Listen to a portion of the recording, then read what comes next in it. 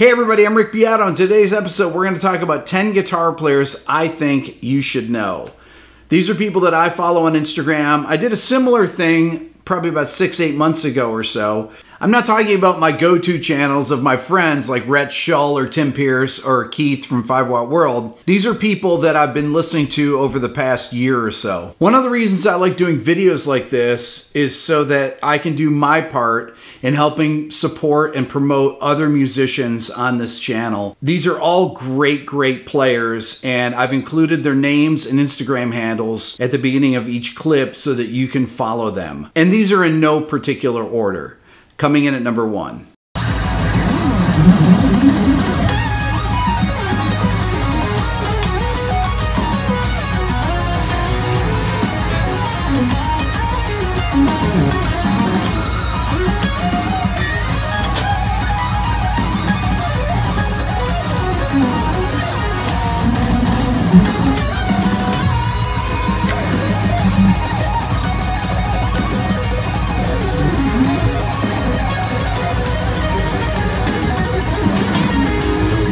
Like about Stephen's playing is beyond this astounding technique and the really huge stretches that he's playing, his lines are so intricate. I've said to him before, he's really like a fusion player disguised as a rock player. You'll see that in this next clip.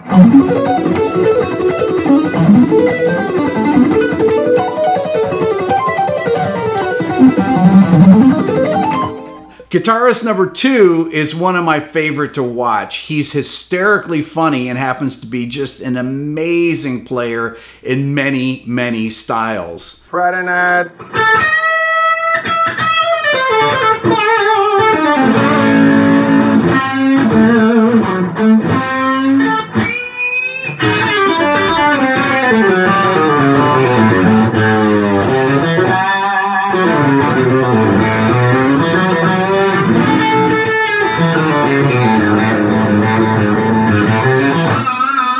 Greg does all the guitar videos for Wildwood Guitars. That's where I first saw him play. And he's got an amazing blooper reel out there, a bunch of them on YouTube that you should definitely check out. Let's hear him play the Tosin Abasi guitar at last year's NAMM show. Check this out.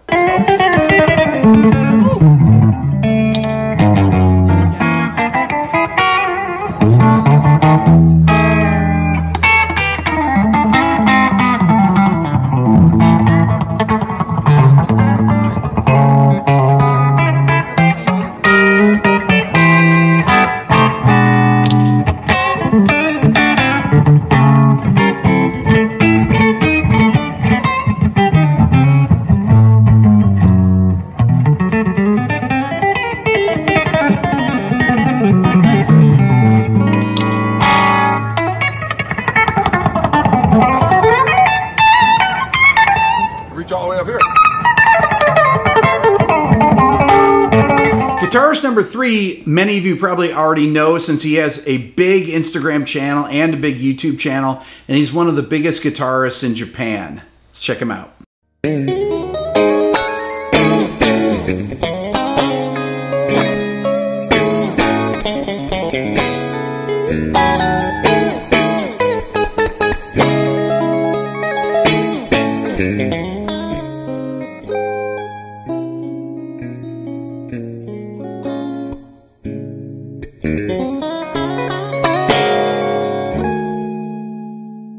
What I really like about Ichika's style is that he uses so many different techniques. It's not just tapping. You'll see in this next clip that he uses the flat part of his hand to play certain notes and then plays bass notes in a different way. It's really, really interesting. Check it out.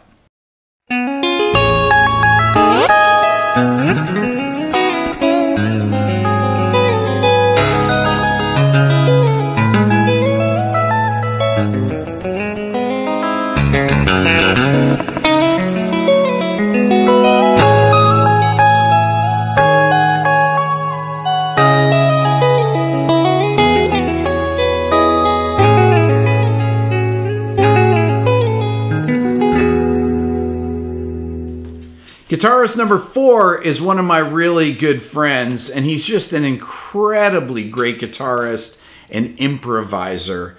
He is also one of the most rockin' players that you'll ever hear. Check him out.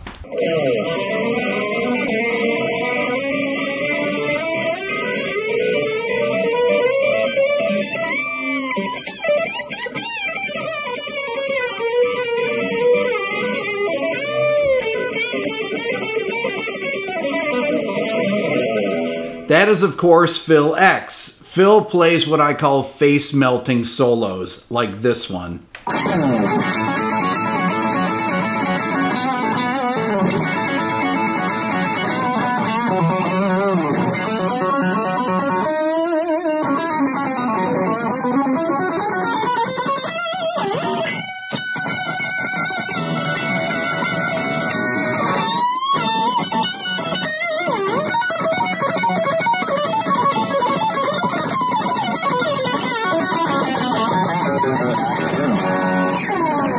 Guitarist number five, I've been following for years. His playing is what I would call a mix of modern classical, fusion, rock.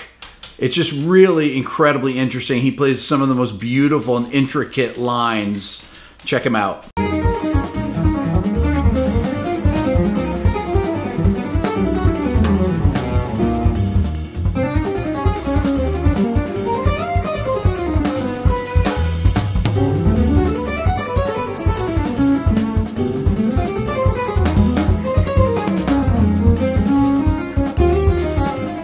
Tim can play on straight ahead tracks like that, and he can also play with this great feel over more funky grooves. Check it out.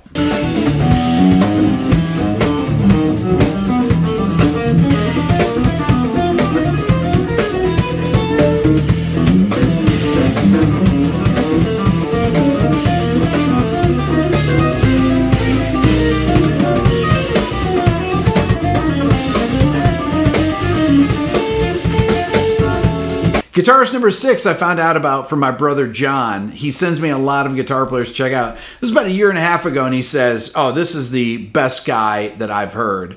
And Doug is an amazingly great player and a friend of mine, and he's also a great improviser. Let's check it out.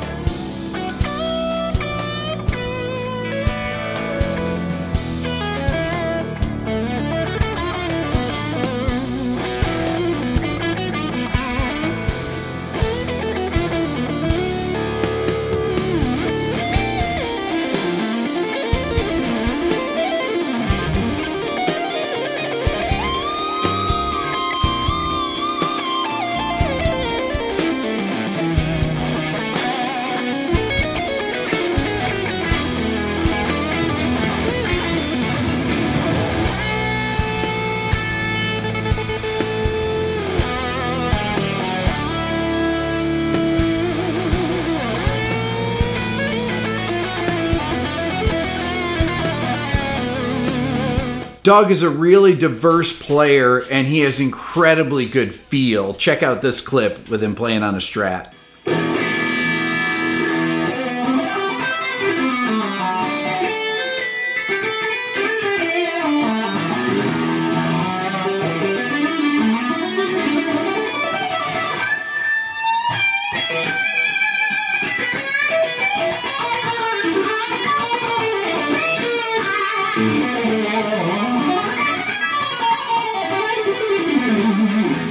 Guitarist number seven goes by the name Whalenator on Instagram. He is really kind of a neoclassical guitarist, and he has one of the most interesting and fluid right hands, kind of reminiscent of Marty Friedman. Let's check him out.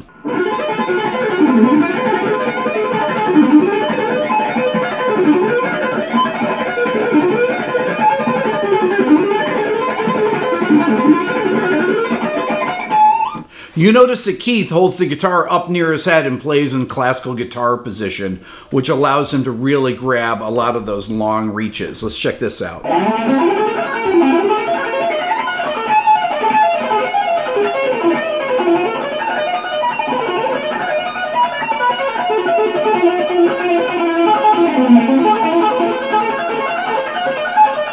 Guitarist number eight, I found out about through a guitarist that I featured on my channel on What Makes This Song Great, Plini. Let's check him out.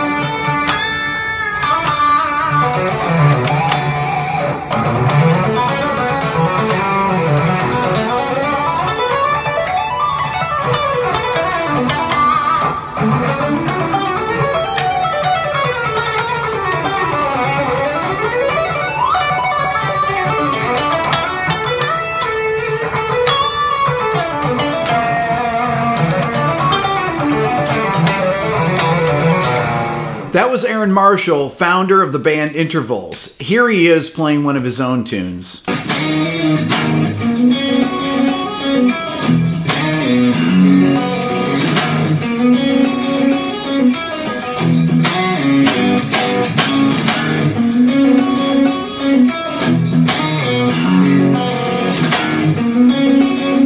Guitarist number nine is another player on this list that does things his own way, has his own style, combines multiple techniques to create this really beautiful sound. Let's check him out.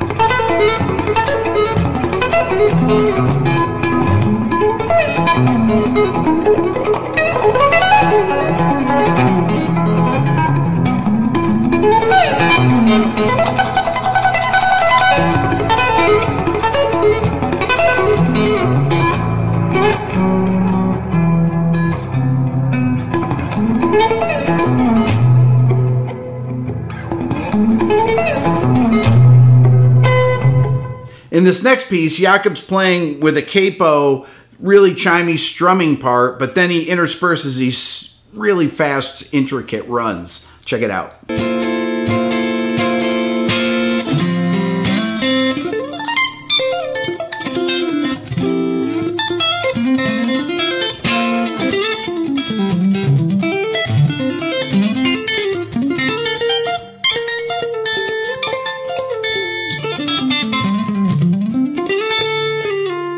Rounding out the top 10 is a guitarist that I've been following for a while.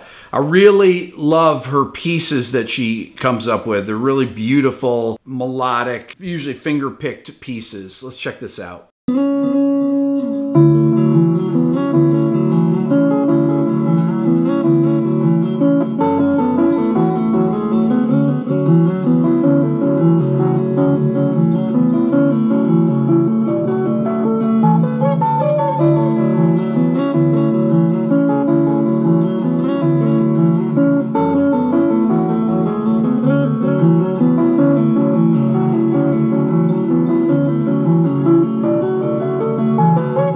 Yvette has a huge following on Instagram, and I can see why with pieces like this.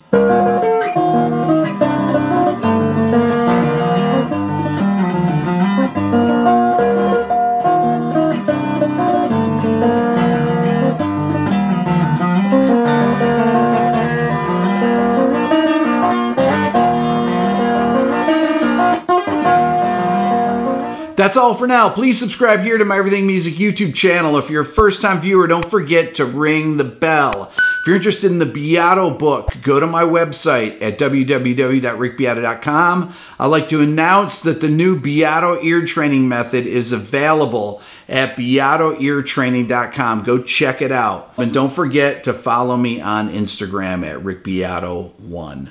Thanks for watching.